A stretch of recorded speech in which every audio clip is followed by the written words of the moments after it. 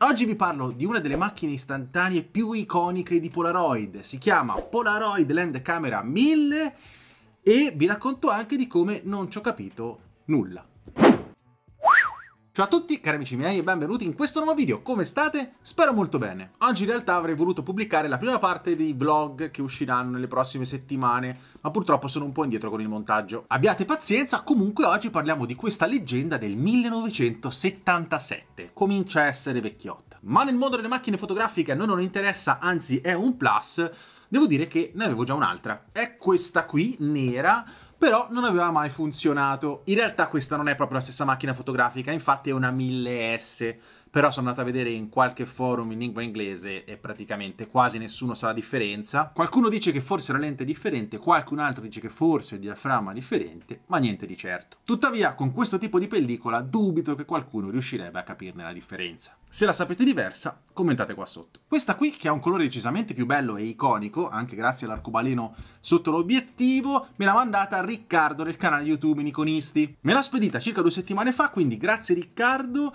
Se non siete ancora andati a vedere il suo canale YouTube Nikonisti, andateci subito perché è un fotografo professionista con un sacco d'anni di esperienza e ne sa a pacchi. Ma torniamo alla macchina fotografica, come vi dicevo, macchina uscita nel 1977, compatibile con le pellicole SX70. La cartuccia che contiene 8 scatti è questa qua ed è uguale a quella delle Polaroid Originals, quindi le Polaroid 600. Si vedono i contatti della batteria perché queste cartucce hanno la batteria integrata e sono proprio loro ad alimentare la macchina fotografica. Quello che cambia in queste pellicole rispetto a quelle di Polaroid 600 è la sensibilità.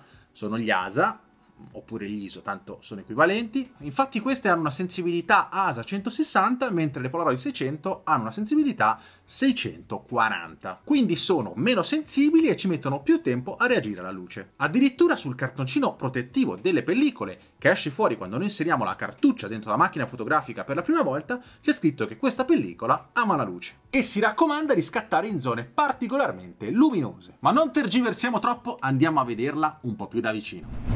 Partiamo dalle dimensioni che sono di 11 cm per 14 con un'altezza di 9 cm, con un peso di 412 grammi senza pellicole inserite. Andiamo a vedere il frontale, esteticamente secondo me è veramente bella, abbiamo questo arcobaleno sotto l'obiettivo che è fantastico. La cosa che spicca sul frontale ovviamente è questo obiettivo con lunghezza focale 103 mm, poi vabbè qua abbiamo il logo con la scritta 1000 sotto il pulsante di scatto, che in questo caso è rosso, ma ho letto che poteva essere anche verde. Abbiamo il mirino, il viewfinder, ovviamente galileiano, quindi molto semplice. Subito sotto abbiamo l'esposimetro, che è CDS, quindi a solfuro di cadmio, e attorno abbiamo questa ghiera, che è molto rudimentale ma molto efficace, che serve per compensare l'esposizione, in base alla luminosità che troviamo nell'ambiente circostante. Sulla parte superiore c'è una feritoia con dei contatti perché questa macchina poteva ospitare un flash. E di flash compatibili per questa macchina fotografica ce ne sono un sacco.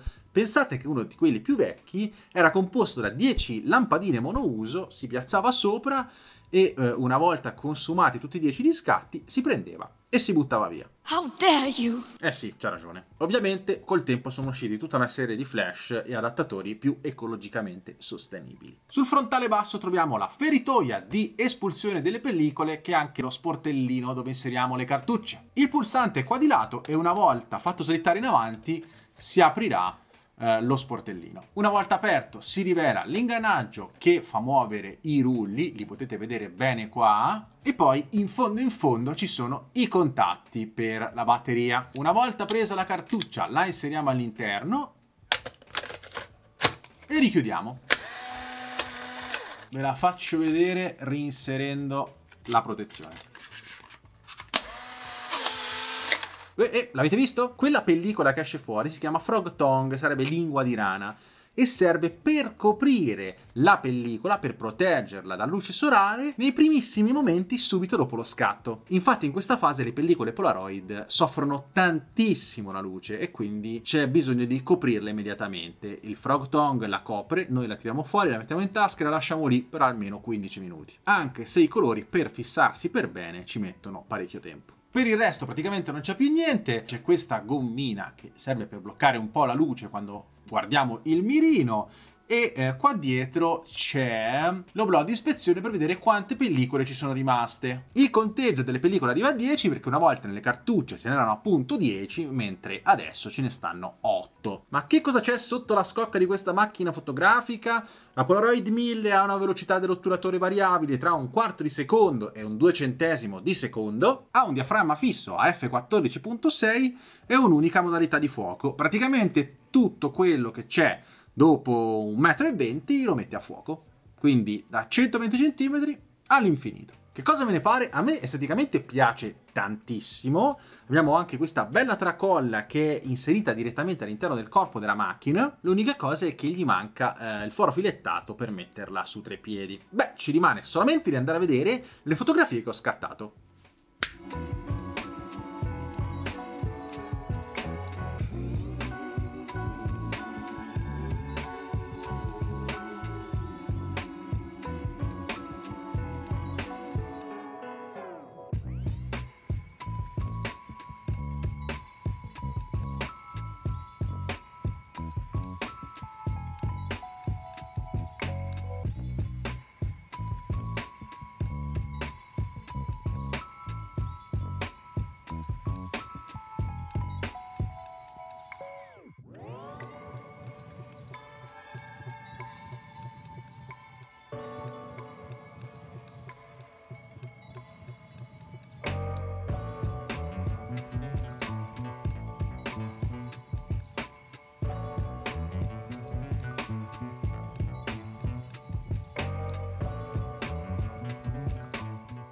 Ci voleva la musichetta col flauto del Titanic perché veramente non ne ho imbroccata una, non ne ho fatta una decente. Eppure non capisco, l'esposimetro è pulito. Sono andato in un posto in cui c'era sole pieno, con le Polaroid 600 non ho mai avuto problemi, con questa qui che è meno sensibile alla luce, quindi dovrebbe subire meno il sole pieno.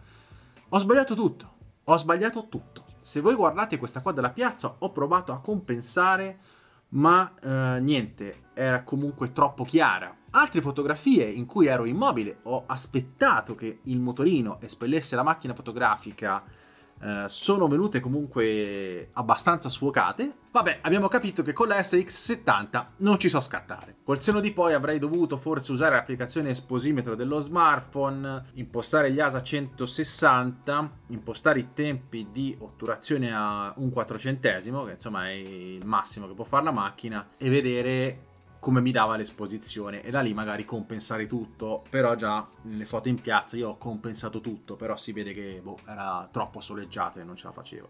Che figura. Vabbè non possiamo sempre vincere Prezzo della macchina fotografica sul mercato dell'usato si va dai 25 euro fino ad arrivare ai 95-100 euro se è tenuta veramente da Dio. Quindi se siete degli appassionati la macchina riuscite a comprarla senza troppi problemi. Per quanto riguarda le pellicole invece sono un po' più costose e potete scegliere se fare 8 scatti con queste bellissime pellicole oppure respirare con due polmoni perché uno l'avrete venduto per comprarle. Infatti le ho pagate un drammatico 20 euro euro per 8 scatti. Sul sito di Nital sono andato a vedere costano 19,99 circa, quindi più o meno siamo lì. Porca vacca!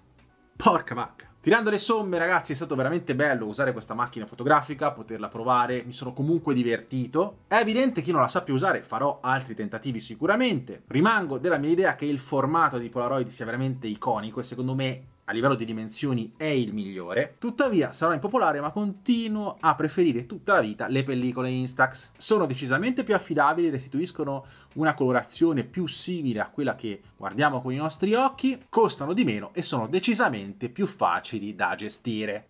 Change my mind. Scherzi a parte ragazzi, fatemi sapere che cosa ne pensate, se scattate ancora con Polaroid, secondo voi sono anacronistiche oppure sono ancora valide nel mondo di oggi? Io ringrazio ancora Riccardo del canale YouTube Nicolisti per avermi mandato questa macchina fotografica e avermela fatta provare dalla sua collezione e noi ci vediamo la settimana prossima, tempo permettendo, per un nuovo video, sempre qui, sul Prova Cose. E spero che la prossima volta ci vedremo per il vlog. Ciao!